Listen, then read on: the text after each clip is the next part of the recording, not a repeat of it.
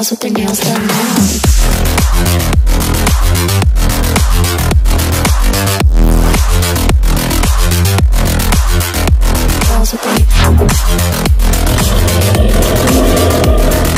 nails done. Girls with their nails done.